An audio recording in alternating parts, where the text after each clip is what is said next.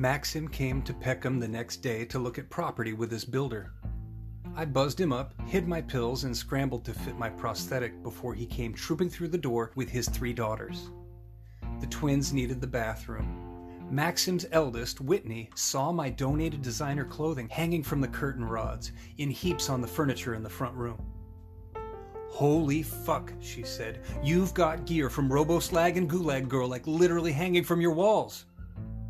When Charday and Chaka Khan saw their big sister zipped inside a cherry red puffer jacket, twirling circles in the front room with her phone held at arm's length, they were no longer interested in looking at rundown real estate with Dad. I begged Maxim to leave the ladies with me while he sought a business down the street. My guests complained of hunger. They weren't keen on Lebanese food, and I didn't feel like cooking, so we struck a bargain. If they agreed to model Peachy's clothes and help me choose any separates or ensembles that wouldn't rob the gift of sight from my remaining eye, they could keep the things I didn't want and I would spring for pizza. We dressed up, ordered Domino's, and dashed down to the street to meet the driver on the curb in flowing scarves and flat billed ball caps like some kind of K pop slash Stevie Nicks collision.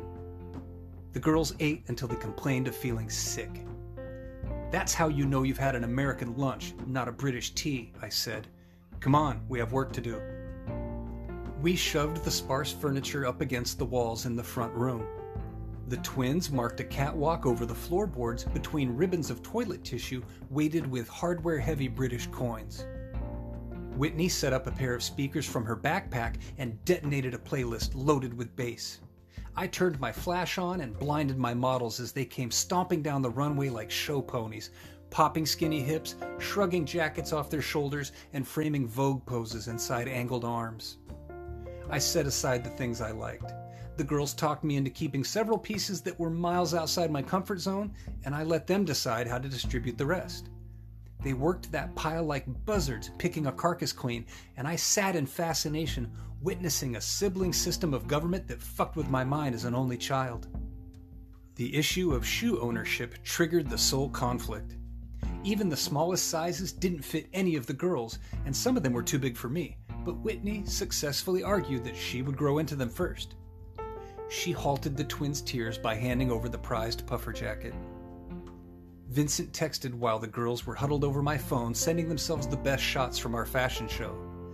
The trio let loose a long, annoying ooh that rose and fell like a TV studio audience reacting to a passionate kiss.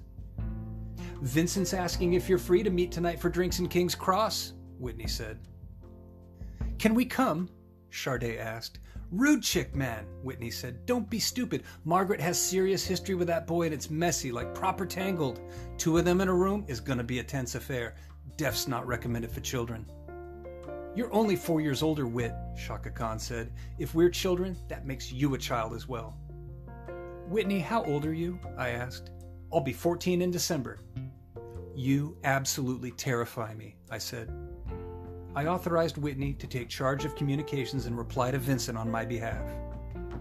Just get the where and the when out of that man and go dark on him, I said. No lols, no emojis. This is business.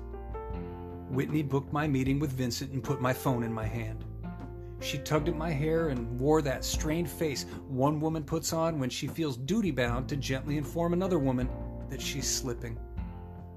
Sis, you need a shower, Whitney said. Scrub your face till it stings, wash that ass, and soak this rat's nest.